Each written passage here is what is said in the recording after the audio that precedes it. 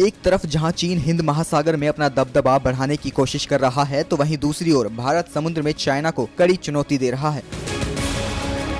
भारतीय नौसेना दुनिया की बड़ी नौसेना ताकतों के साथ अंडमान निकोबार द्वीप समूह में आठ दिन का नौसैनिक अभ्यास शुरू कर रही है। भारतीय नौसेना के अधिकारियों ने कहा कि इस अभ्यास में 28 पोत हिस्सा ले रहे हैं, जिनमें 17 पोत Australia, Bangladesh, Indonesia, Malaysia, Myanmar, Singapore, Sri Lanka और थाईलैंड के हैं। यह द्विवार्षिक नौसेना अभ्यास का हिस्सा है।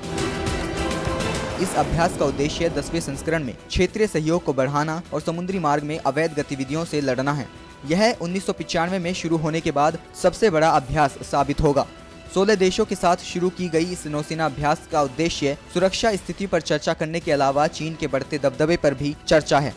गौरतलब है कि इससे पहले फरवरी में चीन के ग्यारह युद्धक जहाजों ने पूर्व हिंदी महासागर में प्रवेश किया था।